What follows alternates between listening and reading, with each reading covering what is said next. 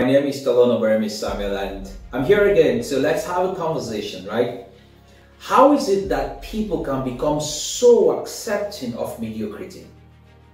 Well, the key to breaking out of this trap lies not only in our ability to dream or envision something bigger, but it's also necessary for us to make the realistic assessment of where we are, where we're going, in other words, our current situation and reality and where we want to be. Whenever we assess where we are now and where we want to be, there's usually this battle, this, this disturbance that happens inside of us. And it is our ability to take the energy that comes out of that disturbance and use it to our advantage that matters.